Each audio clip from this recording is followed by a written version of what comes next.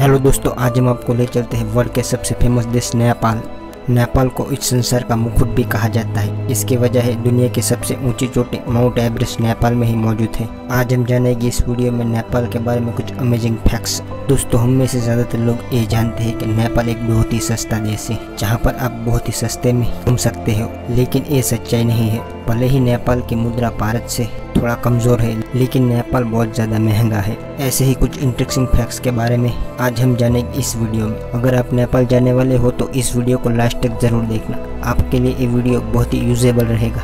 नेपाल, जो कि भारत के उत्तरी छोर में मौजूद है, इसका कुल क्षेत्रफल एक लाख छियालीस हज़ार एक सौ इक्यासी वर्ग किलोमीटर में फैला हुआ है। इस देश का राजधानी काठमांडू है और इस देश का सबसे बड़ा शहर काठमांडू और पोखरा है। इस देश का पॉपुलेशन बीस करोड़ अट्ठानवे लाख के आसपास है। इस देश में लगभग 81 परसेंट हिंदू लोग रहते हैं और 9 परसेंट बुद्धिस्ट लोग रहते हैं और 4.4 परसेंट मुस्लिम लोग रहते हैं। दोस्तों, हम में से ज़्यादातर लोग ये जानते हैं, नेपाल एक हिंदू राष्ट्र है, लेकिन ऐसा नहीं है। 2007 से पहले नेपाल एक हिंदू राष्ट्र हुआ करता था, लेकिन 2007 में एक नया संविधान आया और इसे एक धर्मनिरपेक्ष राष्ट्र बना दिया गया। दोस्तों, नेपाल वो देश है जहाँ के लोग और यह देश आज तक किसी भी यूरोपियन कंट्री का गुलाम नहीं बना। हम भारतीयों की तरह ही नेपाल के लोग काफ़ी धार्मिक होते हैं। यही वजह है कि यहाँ काठमांडू में ज़्यादातर मंदिर एवं बुद्धिस्ट मोनेस्मेंट देखने को मिल जाते हैं, जिसके कारण काठमांडू को मंदिरों का शहर भी कहा जाता है। अगर आप एडवेंचर के शौकीन हो तो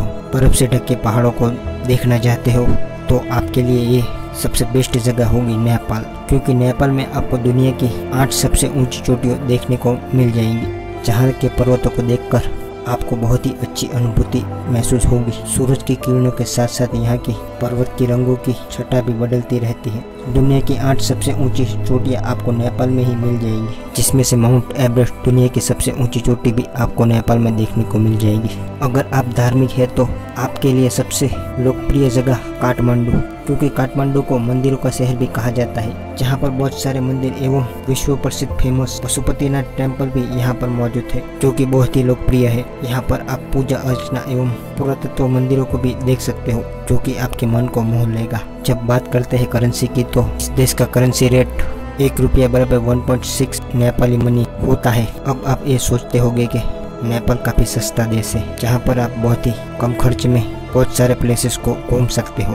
तो ऐसी बात नहीं है नेपाल सस्ता देश नहीं है, बल्कि आप इंडिया से जाते हैं तो आपको इंडिया से ज़्यादा महँगा लगेगा नेपाल क्योंकि यहाँ पर हर वस्तु की प्राइस डबल डबल होती है। नेपाली करेंसी से भारतीय रुपये थोड़ा स्ट्रांग है लेकिन आपको नेपाल टूर भारत के हिसाब से महँगा पड़ेगा। आप वहाँ पर 30 से चालीस हज़ार में दो मेंबर नेपाल के इम्पोर्टेंट प्लेसों को घूम सकते हो। अगर आपका बजट ज़्यादा है तो तो आप यहाँ की बहुत सारी एक्टिविटी कर सकते हो, जो कि आपके मन को लुहा देगा।